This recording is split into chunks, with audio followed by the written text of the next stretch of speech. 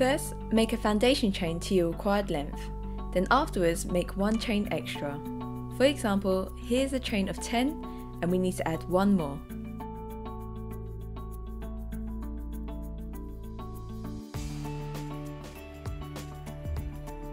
Make sure you know where the second chain is. Here's your first chain, and here's your second chain.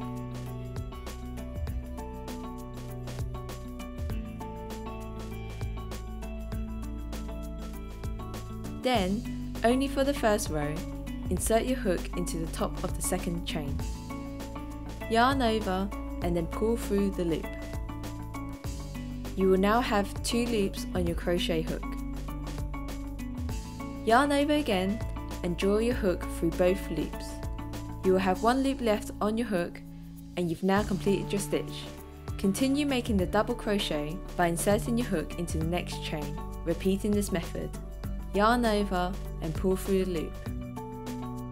Yarn over and pull through.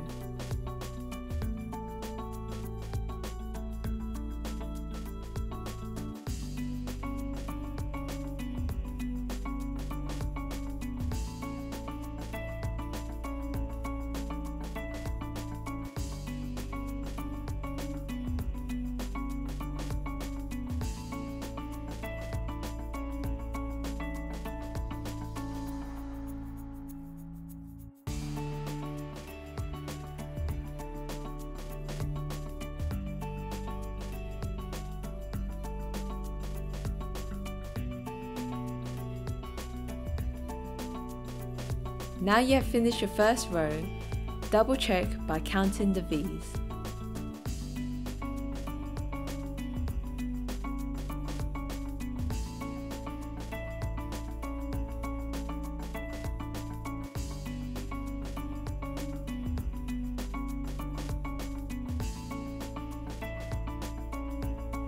To start the next row, turn your work around and chain one more.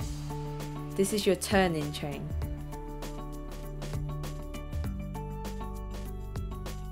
Identify the first stitch of the row, not your turning chain. This is also known as the second V from the hook.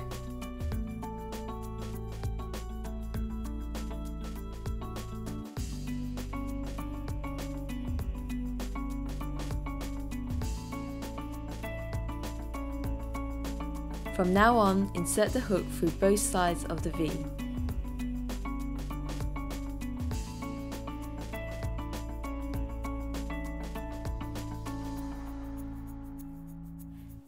And that's how you double crochet.